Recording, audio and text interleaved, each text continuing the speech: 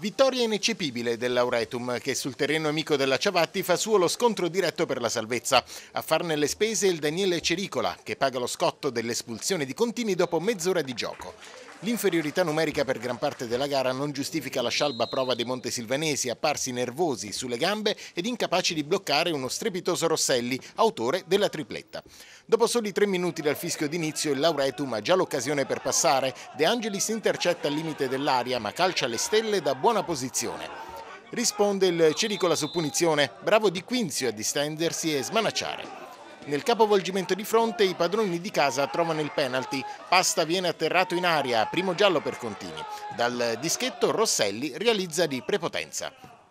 La partita cambia volto, ancora Contini, protagonista in negativo al 36esimo. Suo il fallo di frustrazione che gli costa un altro cartellino. La decisione arbitrale si trasforma inevitabilmente in espulsione. Cambia dunque lo schieramento difensivo, tocca a Di Blasio coprire le falle ma non viene supportato a dovere dai compagni di reparto. L'azione del 2-0 è emblematica, cross pennellato di Romanelli per l'indisturbato Rosselli che non ha alcun problema ad insaccare di testa. Due minuti più tardi occasionissima capitata prima a Caruso, poi a Di Fazio.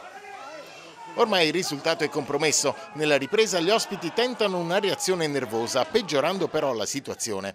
Si rivede quindi Rosselli in apertura di ripresa, con Baldin che tenta di imitarlo su punizione.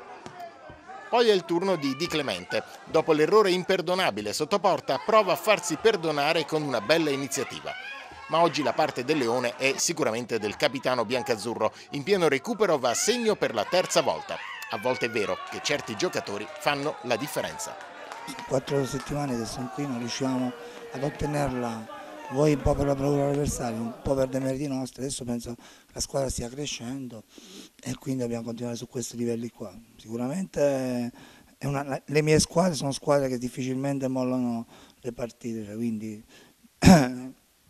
stiamo crescendo sul piano dell'intensità, ce l'andremo a giocare fino alla fine contro tutti. Peccato perché era uno scontro diretto, potevamo rimetterci in gioco, adesso proseguiamo per la nostra strada, noi siamo una squadra che comunque non pure se retrocediamo alla fine non è che ci, ci, ci, incide più di tanto. Ecco, la categoria era bella, cerchiamo di mantenerla fino alla fine, lotteremo fino alla fine, vediamo un po' alla fine tireremo, tireremo le somme. Insomma.